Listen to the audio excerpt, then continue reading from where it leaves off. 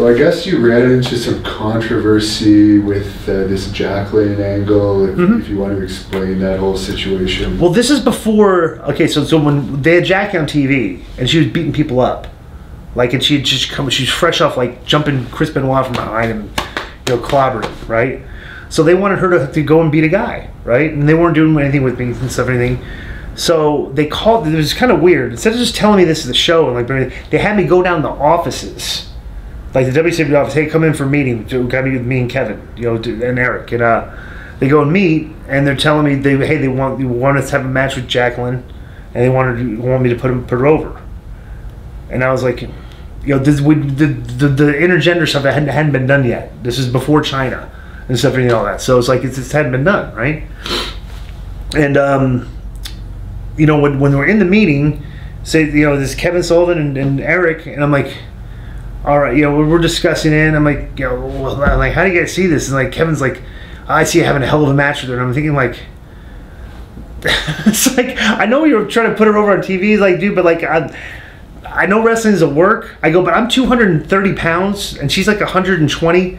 I go, what? it's like I don't. I mean, other than me going in there like you know breaking her neck, I go. I don't envision you, what how you see a competitive match here. You know, you know what I'm saying? Like I, I she goes. Then they go. Well, she she beat up Chris Benoit.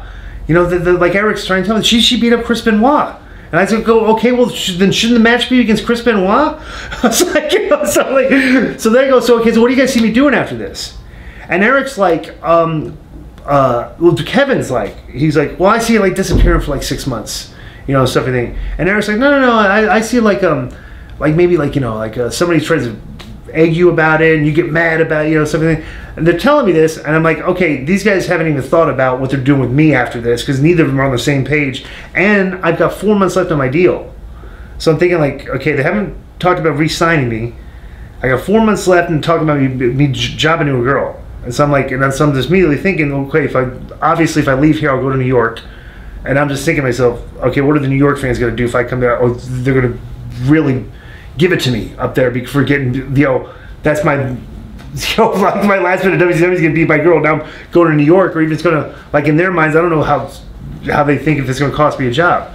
So I leave the I leave the room, and I immediately called. You know, Page and me were good friends. You know, me and Terry were good friends, and Terry was on the on the booking committee back then. Right. Something, okay, bro. Nobody, every single person I talked to, Page, Terry Taylor, everybody said don't do it. They said don't don't do it. Like I didn't talk to one person that said, hey, yeah, yeah, that's a good go go do that. You know what I'm saying? So they all tell me don't do it, and I said, so I went to Eric one day and I said, hey, can't do it. And he goes, okay, you're fired. I'm like all right. So they guess they got they got rid of me, right?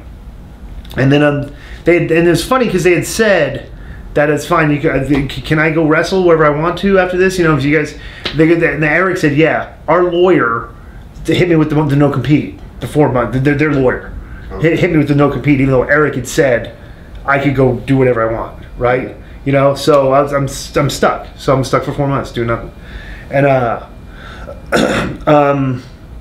And that's when I was having conversations. Jim Cornette, Cornette had called me up a couple times. Hey, what's your status? And I told him the exact same thing. I got my four month no compete. Now I got three months left. I got two months left. Then I called. Then Bruce Pritchard called me, and he's like, "What's your status?" I go, "Well, it's the same as has been as I previously talked, talked to Cornette." He goes, he goes, he goes, "So what? So what was the story?" He goes, "Well, I just I, I told Jim." He goes, well, "I'd rather hear from the horses, you know, ahead than the, than the horses." I'd rather hear from the horse's mouth than the horse. I'll never forget that. Bruce Pritchard's like, I'll never hear. Talking about Cornette like a guy where I'd rather hear from the horse's mouth than the horse's ass. that's that's the only real detail I remember that conversation. But I just told him I said that I basically told the story kind of like how I I told you, you know. He said okay, so uh, so th- they they didn't sign me, and it's like supposedly they um somebody years later I found out maybe through Russo that that uh, he had said that um he didn't give I didn't give him the answers that he wanted to hear or something like that. But I, I but Russo thought that I was coming in because they were putting a silhouette of me in their magazine, like coming soon, like the Honky Tonk Man's protege or some some weird thing, right?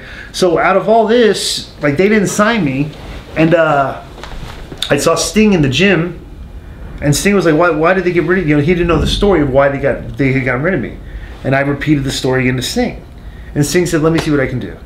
Sting went and talked to Eric. They brought me back, and I'll never forget Eric. He brought me back the first day, and it was like, uh, "Oh, we got to figure out a way for you to get put over Jacqueline."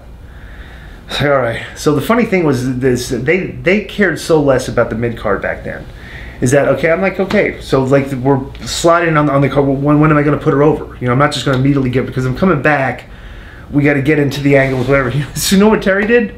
Terry put the TV title on me thinking that okay, there's no way that Eric could be dumb enough to let the let the TV champion be my girl, right? And the, like, bro, to get the bookers like working Yeah. Eric to try. That's how like this was WCW back then. Like, just just no real like set plan. People on the same page or stuff. So they put the they, they put the title on me.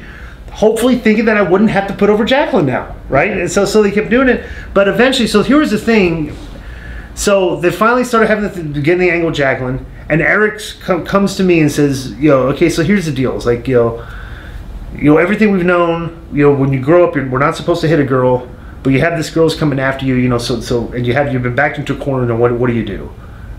And I was like, like, "Why didn't you guys just tell me this beforehand?" You know, it's like I can work a match around where okay, I'm not gonna abuse a girl. But if she's out there kicking my ass, what can I do? Other, you know, I'm not to punch her in the face. How do I negotiate a match around a girl when, when you, you've been told all your life you can't, you can't beat up a girl?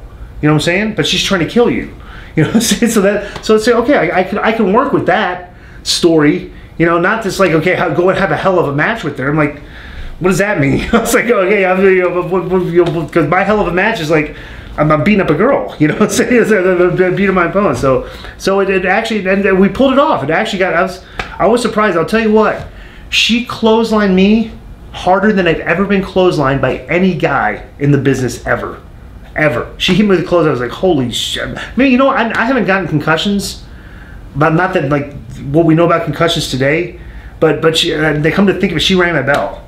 You know, so there she is. Which when she closed on me, I was like, "Holy shit!" It's like it woke, woke woke me up. You know, I was like, "Jesus."